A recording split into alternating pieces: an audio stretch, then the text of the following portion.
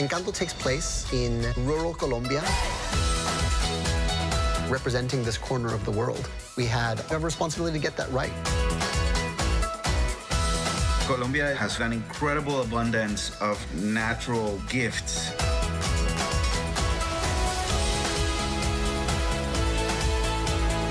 We had an incredible research trip.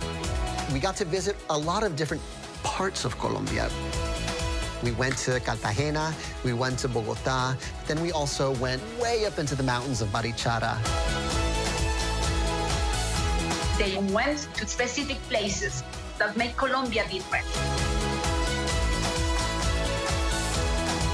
For example, San Basilio de Palenque.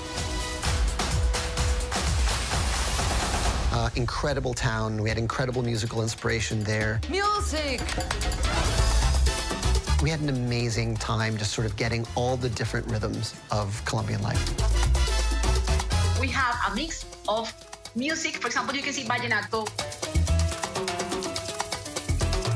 merengue.